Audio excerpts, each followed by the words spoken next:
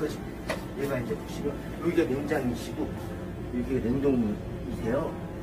차가 상태를 조립을 해주셔요. 아니면 원액이 다 때문에. 그 다음에 이건 나중에 알려주고 먼저 교판을 한번 봐야 얘가 이제 이 네. 보이시죠? 얘가 이제 왔다 갔다 하면서 이제 마치 얘를 일자를 한 다음에 조립 그 다음에 레바이트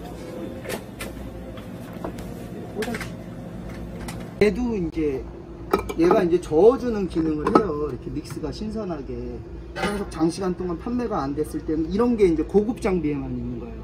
고급 장비에만. 얘가 이제 좀 믹스를 저어주면 신선도라든지 좀 예, 훨씬 낫겠죠. 예.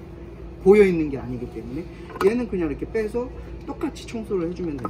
이렇게. 그 다음에 얘가 이제 믹스 봉이라고 하는 건데 이게 공기 봉이에요. 그러니까 아이스크림을 맛있게 할 수도 있고 예, 좀 맛없게 할 수도 있고 그래요. 요거는 제가 이제 그때는 여기 보시면은 요, 요 가운데 네. 보면은 네, 얘 그건- 홈이 있죠. 네. 자기에 맞게끔 요렇게 꼽아줘야 돼요. 이렇게 이렇게 좀 있다가 근데 얘가 봉이 두 개죠. 요 차이는 제가 좀 할게요.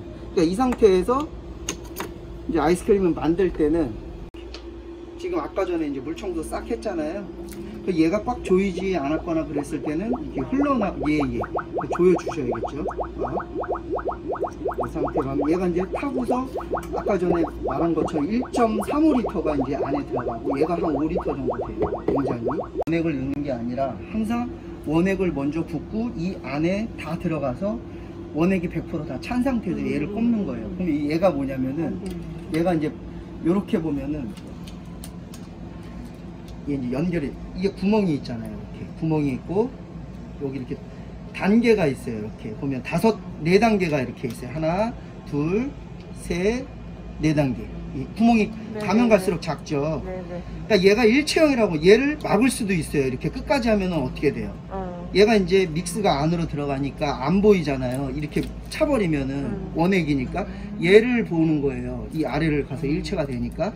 그러니까 이 상태에서 판매할 때는 이렇게 구멍이 커져야 되는 거고 음. 지금 상태에서는 원액을 막아주는 거예요. 이게 이제 살균 장비들은 이, 이게 오버런벙이 이제 왜 필요하면 약간 얘가 헷갈릴 수가 있는데 원액을 다 넣고 이렇게 잠가주는 거예요. 더 이상 안 들어가게. 음.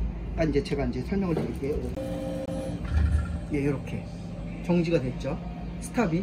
그 다음에 퇴근할 때는 살균으로 하고 가셔도 되고 이 초기화를 누르면 냉장이 돼요. 음. 리셋 요거를 이렇게 누르고 가시면은 상하지 않을 정도로 냉장이 되고 가요. 이렇게 해서 가셔도 상관은 없어요. 그냥 불이 들어오죠. 이렇게. 그 대신 얘를 막고 가는 게 좋기는 해요. 이렇게. 음. 이렇게.